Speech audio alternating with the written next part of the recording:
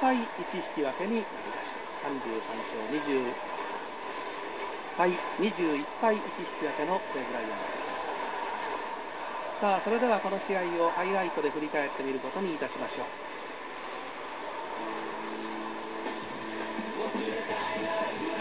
まず岸の立ち上がりです。ワンアウト三塁一塁のピンチ。西武に戻った和田が結局三振。西武ドームでの最初の中村のみの当たりはセンターフライこのピンチは逃れましたそして中日の先発の川上これは2回の裏ワンアウト三塁一塁細川のこのバッティングですがキャッチャーの小田のミットに当たりました結局小田の打撃妨害まあ、これは選択権があるというそういうプレーだったのですが結局渡辺監督は打撃妨害で細川アウトで三塁ランナーホームインを選びました。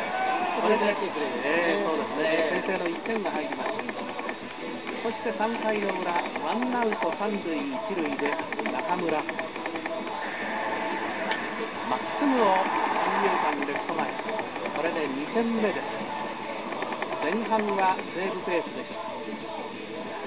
これは4回の表の岸のピッチングこの中盤は良かったですね。良かったですよね。ボールも低めに丁寧に投げてましたしね、はい、そして4回の裏栗山の第2号ソロホームランが出ました。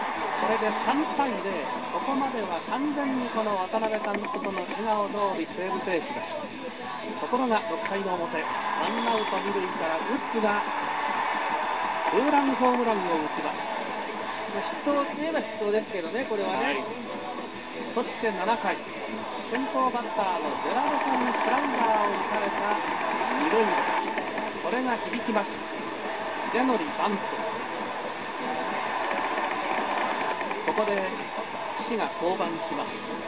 そしてピッチャー星野は代打立浪が告げられた後、きっちりと立浪が仕事をします犠牲フライで3対3の同点に追いつきますの後3人目の大沼がマウンドに上がって嵐に粘られた挙句に結局フォアボールです。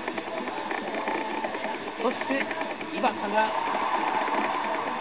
難しい投球をよく打ちますそして嵐も走ります小橋のコースも回しますこれはナイスボールですね。えー、そうですね。そ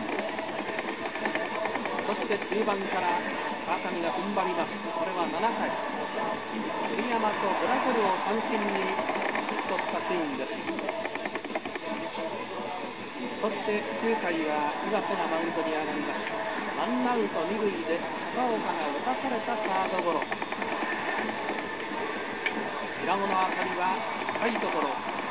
井端のスローイング中村がよく伸びました局4対3逆転逃げ切り中日ドラゴンズがこれでこのカードの交流戦1分けを挟んでおととしから8連勝ということになりました。